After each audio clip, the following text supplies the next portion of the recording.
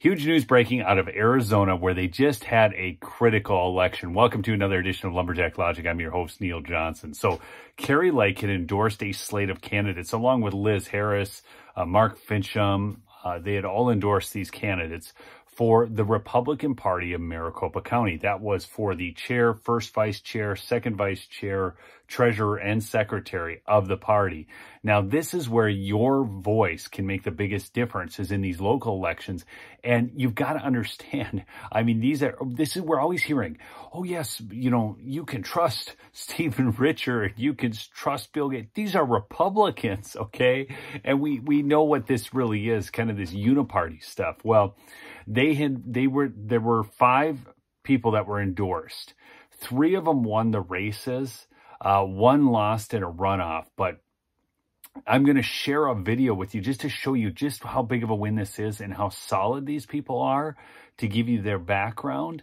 But this is the slate that Kari Lake had endorsed. Now, they, they lost the secretary race and they lost the second vice chair, but they won the chair, first vice chair, and the treasurer, okay, which are probably the three most important positions there. So this is a huge win. I'm going to let you see who these candidates are. I will emphasize the importance of election integrity. One day, one vote, no machines. We cannot sacrifice our freedom for our convenience. My wife and I hosted three large meet and greets and several fundraisers this last election cycle and served as poll workers in the primary and general election.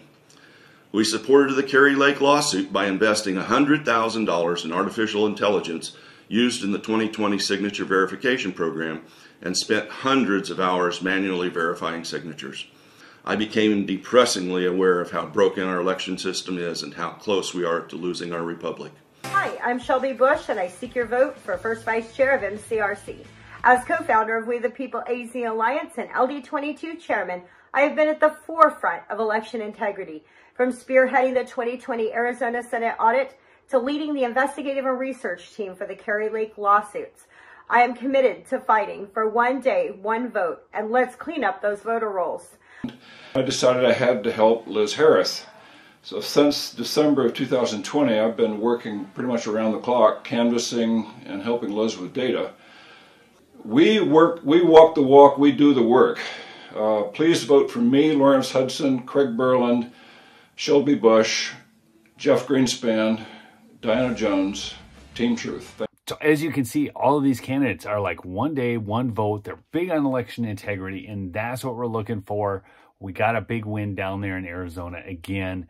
Uh, thank you, Kari Lake. Thank you, Liz Harris. Thank you to you folks who endorsed these people, got the word out, and gave us a victory in Maricopa County.